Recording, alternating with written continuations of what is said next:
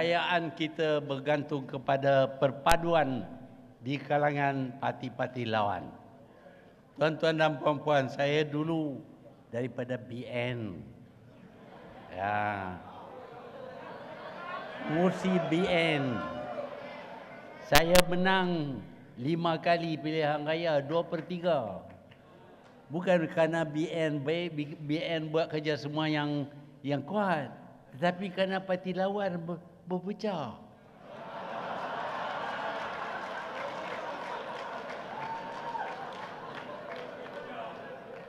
Kerana kelemahan parti lawan. Kalau dia tak bersatu, dia tak boleh menang. Jadi kalau kita nak kalahkan BN, satu cara saja yang boleh kita kalahkan BN dengan bersatu.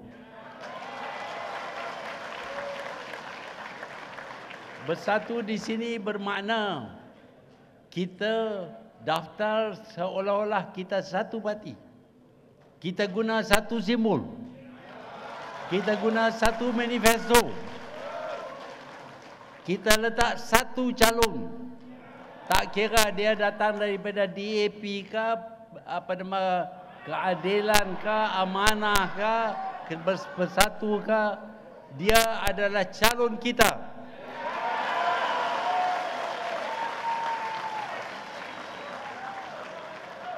Kalau pun dia daripada parti amanah atau mana-mana parti, parti DAP, itu calon kita dan kita semua akan sokong.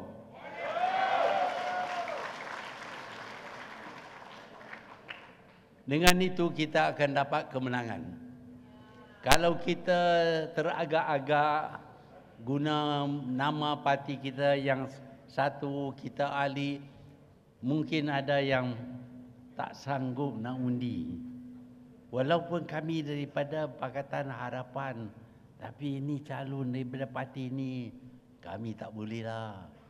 Tak boleh macam itu.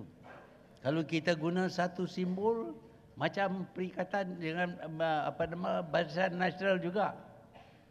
Dia letak satu calon dengan satu simbol saja. Cat dacing. Sebelum dacing, kapal air. Jadi tak ada lagi identiti dengan parti-parti mana. Ini adalah satu parti yang melawan dengan pihak-pihak yang lain. Sebab itu mereka menang. Dan kita perlu guna strategi yang sama. Kita guna strategi yang sama iaitu kita bersatu, kita hilangkan dalam pilihan raya sajalah. Kita hilangkan identiti kita daripada mana-mana parti komponen sebaliknya kita bertanding sebagai satu parti saja dan kita pakai satu simbol satu manifesto 马来西亚目前的局势呢，套宋朝宰相文天祥所说的“国家有难，匹夫有责”，这是每一个人的责任。我们不能够等其他国家来打救，这个国家是我们的。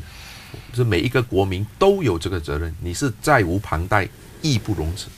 而我想讲，向所有在场的观众们讲一句话：你今天可能可以想要自啊明哲保身，但是我要告诉你，今天你不站出来，将来你会永远站不出来。